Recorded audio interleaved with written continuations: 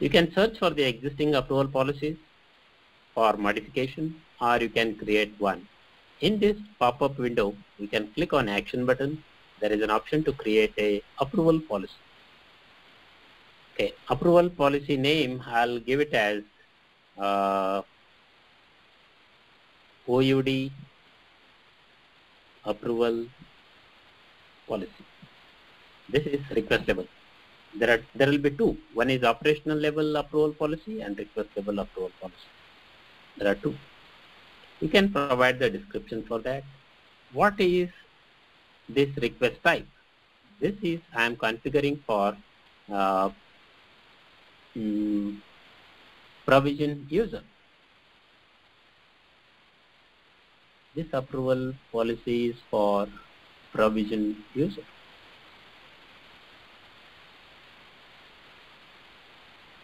Provision entitlement, I could see. Provision application instance. Okay. Provision application instance. So this approval policy is for request level. Select the request level here. Okay, right and select the approval process. Approval process is deployed in SOA Composite. When you install SOA Composite, there will be one by default, default approval policy, you can use it.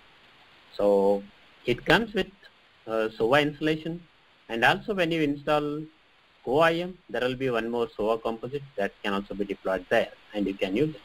I'm not using, I have not deployed anything. I'm using one SOA composite which comes with SOA server. I'll. So you can list all deployed approval process within SOA server.